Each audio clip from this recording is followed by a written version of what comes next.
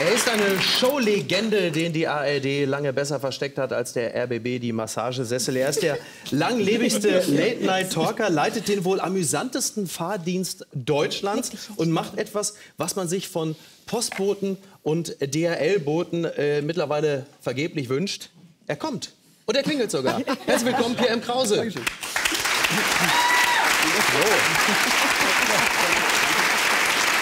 Auslassen. Ist, äh, Pierre, ist das, schon die, äh, ist das schon die Zeitenwende? Also man kriegt keinen Arzt mehr, jetzt machen die Komiker die Hausbesuche? Die ich, ich, weiß auch nicht, ich, ich, ich bin gerade total abgelenkt, weil ich mich gerade frage, Entschuldigung, dass ich ja, die Frage nicht beantworte. Hat jemals in einer Talkshow jemand so ein Schaumkopfküsschen ich gegessen? Ich habe den Schokokuss gegessen und zwar exakt bevor die Sendung losgegangen ist. Ja, aber da, vor ja. der Sendung. Aber das, ja, ja, das, wird ja sozusagen Kredenz, dass man es während der Sendung ist. Und es ja. sind die wenn ich drankommen, wenn ich drankommen würde, ich hätte die Schale schon Möchtest leer. du einen haben? Hier, ja, aber das ist zwischen den Zähnen und alles. Soll ich dir das schälen? Komm, daran soll es doch wirklich ich habe doch noch also Hände. aber das ist doch wirklich... Die Zeit haben das kann man doch nicht essen, ohne wirklich bescheuert dabei Was ist denn jetzt los? Jetzt muss aber nicht das ganze Futter zu mir. Nicht, dass der Hund jetzt... Der Hund kriegt nichts vom Tisch. So. So. Entschuldige, ich war oh, verwirrt. Lecker, mir läuft gerade das Wasser Aber ich glaube, jetzt ist ein guter Zeitpunkt, dass ich auch einen esse. Mhm. Ja, ja, ich bin sehr mittendrin. Sehr gut. Jetzt toll, jetzt habe ich hier... Herr Laumann, haben Sie eigentlich schon unseren Kölner Dom aus Käse bewundert? Ach, das soll der Kölner Dom sein? Ja, hallo? Du bist doch Urkölnerin. Das ist der Kölner Dom.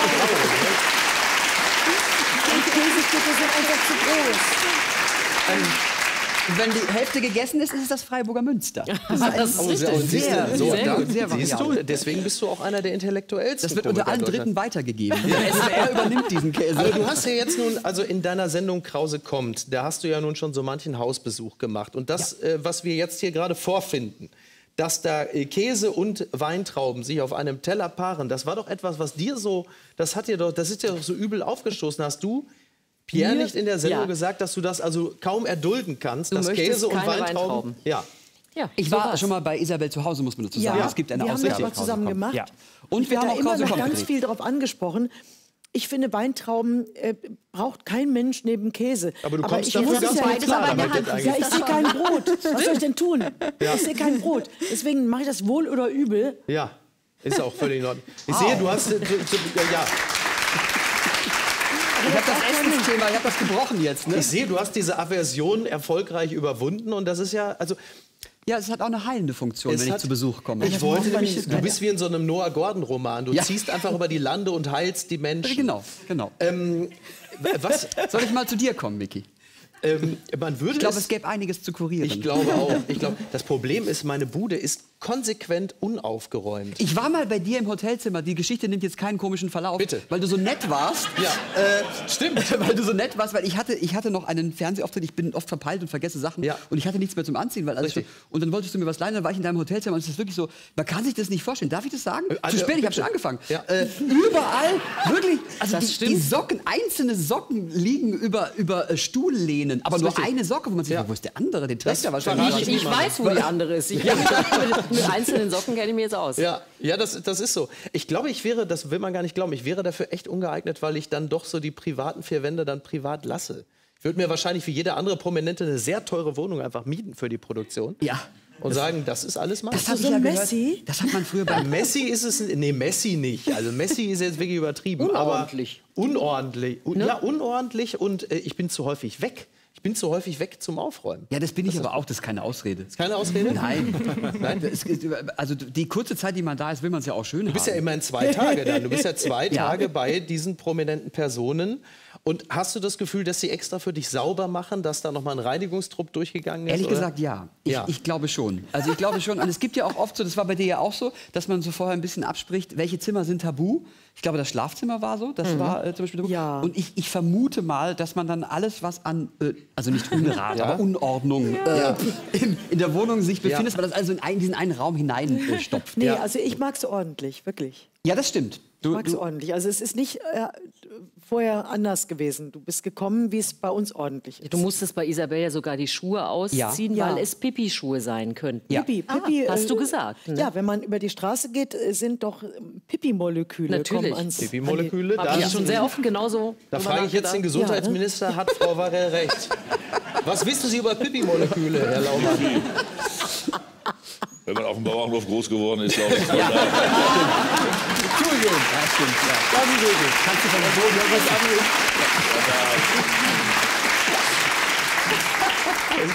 Ich glaube, Vielleicht ist das auch der Grund, dass man deswegen einige Widerstandskräfte er ja. entwickelt hat. Ja, das, das glaube ich sofort. Wenn man da so. erstmal so dreimal mit dem Gesicht im Fladen war, ist ja immer noch egal. Ne? Unser eins da muss ich ja nicht sofort übertreiben. Dafür muss, man, dafür muss man sonst schon Theaterkritikerin sein, aber das ist ein anderes Thema. Hoppala. Ähm, du, du hast ja wirklich sehr, sehr viele Menschen schon äh, äh besucht und geheilt. Ähm, Harald Glöckler den habe ich nicht geheilt. Das, ich habe mir Mühe gegeben. äh, aber ja. Das ist ja, also die Sendung ist ja, Krause kommt, ist fantastisch. Schauen Sie sich an, es lohnt sich. Eigentlich lohnt sich jede Folge, aber Glöckler ist natürlich insofern, finde ich, ein, ein Highlight und eigentlich auch ein bisschen die Essenz deines Schaffens. Denn man merkt diesem Mann an, dass es ihn unmenschliche Kraft kostet, die öffentliche Person aufrecht zu erhalten, während ja. dieser Eindringling zwei Tage lang versucht, das wahre Ich rauszuschälen. Ja, ja, das war auch tatsächlich schwierig. Und es gab so einen Moment, es war, es war eh, also wir, als wir als Team da ankamen mhm. in, seine, ähm, in sein Chalet in der Pfalz, das ja auf wundersame Weise ästhetisch zerstört verschönert äh, ja, wurde. Äh, und da gibt es so ein kleines Gästehaus und mhm. wir wurden in diesem Gästehaus empfangen und mussten dort erstmal sozusagen äh, diese Audienz, äh, äh, an dieser Audienz teilhaben. Und er war damals schon, da muss man sagen, seiner Zeit voraus, denn er hat damals schon keine Hände gegeben und sich dieselben auch immer äh, desinfiziert. Da war so ein die Folge war von dabei. 2018 oder so, glaube ich. Ne? Genau. Ne? Und genau. er hatte auch sich also explizit an den Asiaten, Zitat, orientiert, die Absolut. sich nicht die Hände geben würden. Du hattest sogar Desinfektionsspray dabei. Ich hatte Desinfektionsmittel, ich war schon vorher auch äh, so. Äh, ich hatte auch schon äh, kein Sozialleben vor Corona. Insofern, ich, für mich hat sich nicht viel verändert. ja. ich habe das gut weggesteckt. Und er hat einen Bodyguard tatsächlich äh, dabei der jetzt nicht so viel zu tun hatte, mhm. äh, weil erstaunlicherweise gab es nicht so viele Attentatversuche ja. während unseres Drehs. aber, äh, aber der Bodyguard hat es, es haben oft MaskenbildnerInnen ähm, so ein kleines Desinfektionsspray so am, am, äh, am Gürtel hängen. Ja. Und da ist er immer hin und immer und hat sich dann. Äh, das ist so witzig. Aber ich finde das süß. Also ich finde das eine schöne Ich finde das so witzig, weil das, äh, das erinnert mich an eine Geschichte, die wir hier im Kölner Treff erlebt hatten. Und zwar hatten wir hier mal zu Gast auch Harald Glöckler, der da genauso drauf war wie bei dir. Ja. Und also auch keine Berührung, also um ja. Gottes Willen. Und wir hatten den äh, Schauspieler August Zirner zu Gast. Und die waren in derselben Sendung. Jetzt war es halt so, also Glöckler war halt Glöckler und super. Und am Ende der Sendung war August Zirner total begeistert von Glöckler und machte, stand am Ende der Sendung auf und nahm ihn in den Arm und sagte, oh mein Gott, das ist so klasse. Und wirklich, und kam dann wenigstens der Bodyguard? Nein. Äh, der, nein. Na, es kam niemand. Nein, es, es ja. ging gut aus. Ich hatte bei Glück das Gefühl, das eine oder andere ist in dem Moment in ihm zerbrochen. Aber es war eine schöne, es war eine schöne Verbrüderungsszene. Das hat mir gut. Aber das ist toll, weil über dieses Format lernt man natürlich die Leute besser kennen. Also ich meine, da kannst du zwei äh, Seiten Interviews führen, aber wenn du halt bei Harald Glöckler zu Hause bist und dann stehen halt einfach im Schrank eingelegte Knoblauchzehen, erfährst ja. du natürlich mehr über den Mann als ja. In einer äh, äh, absurden Menge auch. Ne? Ja. Ich weiß auch, wahrscheinlich ernährt er sich davon. Das ja. ganz komisch. Oder er kauft die ein, um so ein bisschen äh, extravagant äh, zu wirken. Das kann natürlich auch sein. Aber das Ding ist, dass man, wenn man zwei Tage zusammen ist, dann das, das schafft man nicht diese, wenn wir hier so sitzen, dann sind wir ja alle in mhm. unserer Fernsehrolle und wissen, genau. in einer Stunde ist es vorbei und dann äh, wieder Hand in die Hose Richtig. und Sofa. Ja. Äh, aber das ist bei zwei Tagen, also dieser Penetranz, wenn man zusammen ist, ist das nicht möglich. Genau. Würdest du dich reinlassen? Ich würde mich immer reinlassen, weil ich wohne da ja eh schon. Äh, insofern wäre das jetzt nicht so eine große Umstellung. Aber ich glaube, nein, ich, ich habe auch kein, mein Privatleben ist langweilig. Mhm. Oder magst du nicht drüber reden? Also lässt du, würdest du dir diese Fragen stellen lassen, gerne, die du anderen stellst? Ich finde immer, dass, das hat äh, Herr Laumann eben genau richtig gesagt, man darf fragen, was man will, ich bestimme doch die Antwort. Und ich fühle mich immer in der rhetorischen Lage, äh, eine Antwort auf eine Frage zu geben, die gar nicht gestellt wurde. Mhm. So, äh, so der Olaf Scholz Und das machen Sie ja beruflich ja. Äh, ständig. Also, ja.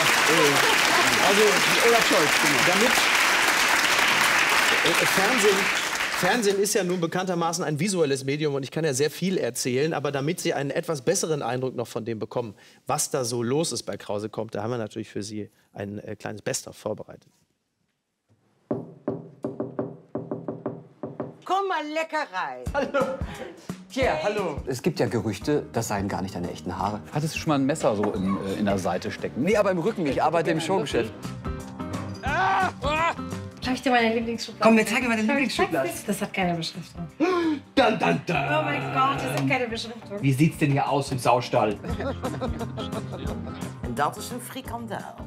Das ist ein Frikandel? Für mich bist du ein, ein knackiges Babybell. Ach, Schätzchen. Was werden wir denn jetzt eigentlich noch tun? Ich habe ja Sorge, dass es irgendetwas mit körperlicher Bewegung zu tun hat. Da machst du zum Schluss hier.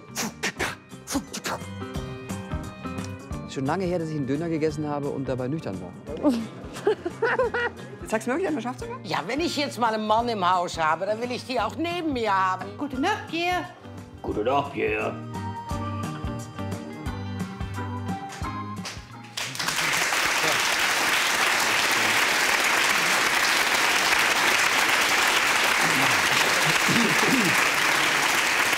Durch den, durch den ja sehr intimen Kontakt mit den Prominenten hast du dir diverse Manierismen oder Hobbys abgeschaut. Bist du über, äh, über die Prominenten, bist du zu Gunther gekommen darüber? Oder wie, wie, wie, kam es dazu? Äh, äh, Gunther muss man erklären. Äh, Gunther ist mein Staubsaugerroboter. Das bisschen Sozialleben gönne ich mir. Ja. Äh, ich, ich taufe den Gunther, weil er sorgt auch drunter.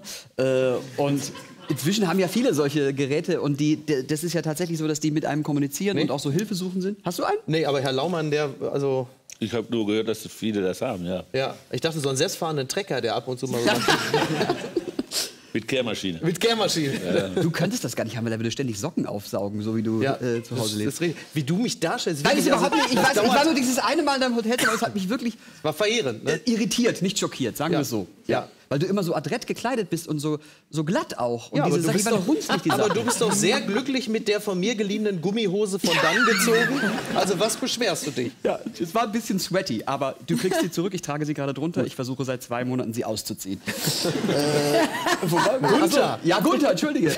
Und äh, das ist... Äh, völlig uninteressant, ich erzähle es trotzdem, aber Gunther ist ein Staubsaugerroboter und der saugt halt meine Wohnung, wenn ich weg bin, damit es sauber ist, wenn ich wiederkomme. Ja. Und schafft es aber nicht. Also er ist wirklich so ein so ein aufmerksamkeitserhaschendes Mitbewohnerwesen und dann kriege ich immer so Meldungen wie, wie, wie, äh, Gunther braucht Hilfe. Meldet er sich dann ja. via WhatsApp oder was? Und dann habe ich wirklich Sorge, dann will ich anrufen, wie geht's Gunther gut und so.